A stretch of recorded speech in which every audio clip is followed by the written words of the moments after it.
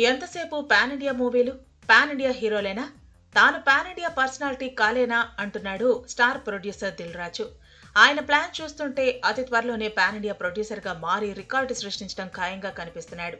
ఇప్పటిదాకా తెలుగు సినిమాలనే ప్రొడ్యూస్ చేస్తూ అగ్ర నిర్మాతల్లో ఒకరిగా వెలిగిపోతున్నాడు దిల్ రాజు. అయితే ఇకపై ఆయన భాషలతో సంబంధం లేకుండా సినిమాలను తెరపైకి తీసుకొచ్చేందుకు ప్రయత్నాలు చేస్తున్నాడు.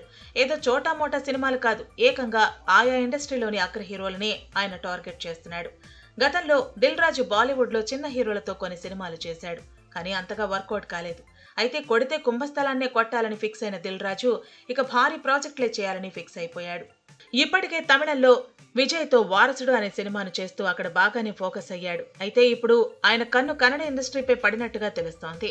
సూపర్ స్టార్ యష్ను టార్గెట్ చేసినట్టుగా తెలుస్తోంది.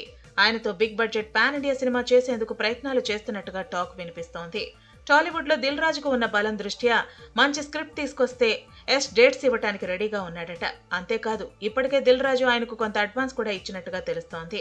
ఇప్పటికైతే నెక్స్ట్ ప్రాజెక్టుల విషయంలో ఎస్ చాలా జాగ్రత్తగా అడుగులు వేస్తున్నాడు కథలు వింటున్నాడు కానీ ఏది ఫైనల్ చేయలేదు. దీంతో దిల్ రాజు ఈ స్పేస్ని వాడుకోవాలని అనుకుంటున్నాడట.